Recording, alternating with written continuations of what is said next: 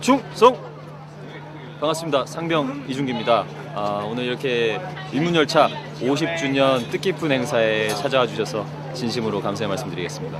군생활은 뭐 마음 먹기 나름인 것 같고요. 어, 일단 사회에서랑은 많이 다를 거고 또 힘들기도 할 텐데 본인이 어떤 마음가짐을 가지고 어떻게 어, 정말 군생활을 어, 실천을 하느냐에 따라 틀릴 것 같아요. 뭐 무엇보다도 많이 힘들긴 할 텐데 잘 견디시고 어, 건강하게 전역하셨으면 좋겠어요. 힘내십시오. 네.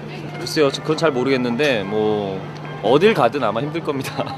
본인 뭐에 군대에서 하는 말이 이제 본인이 하는 군 생활이 가장 힘들다고 어느 곳에서든 많이 힘들고 또 외롭고 할 텐데 그럴 때마다 옆에서 전우들이 항상 있다는 생각 가지시고 아마 함께 지내는 그 군 안에서도 뭐 사랑하고 또 정말 뜨거운 전우회로 똘똘 뭉친 어, 그런 전우들이 있을 테니까 너무 걱정하지 마시고 예, 군 생활 무사히 잘 마치시길 바라겠습니다.